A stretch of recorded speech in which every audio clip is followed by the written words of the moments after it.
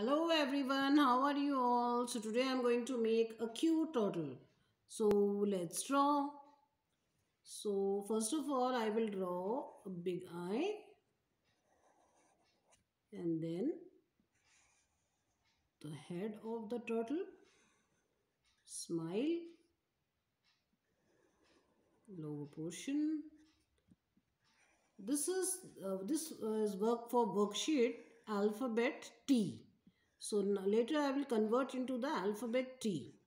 So first of all, you know, I always like to draw something and then I use it for education. So this is for my alphabet book which I am already making and I have reached till alphabet T. If you want to go through it, you can see all the videos are there from alphabet A to T. So this is for T. This is the, you can make your own alphabet book so you can just go through that my channel and please subscribe my channel if you have not subscribed it and share it with others also because on my channel you can get many many videos. Okay so this is the shell now and now the legs. This is the leg and another leg.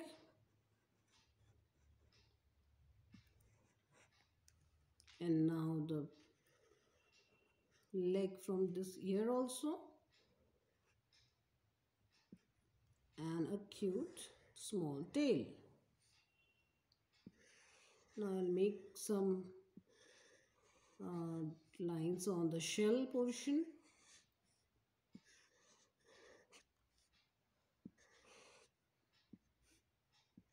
So this is my cute turtle.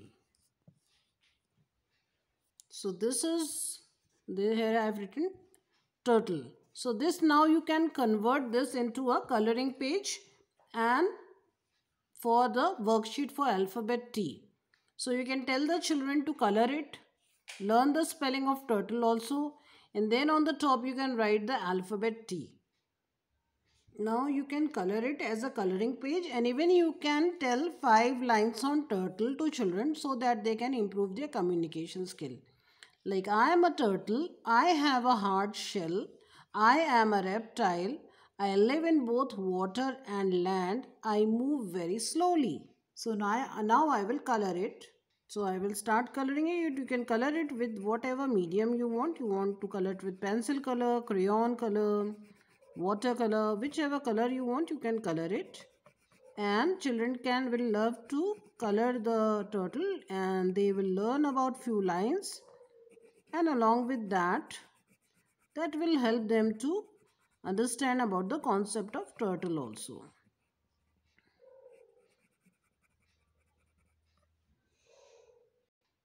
So I have colored the turtle and uh, you can also color it like this. You can use it for your um, drawing. First of all, I love to draw something.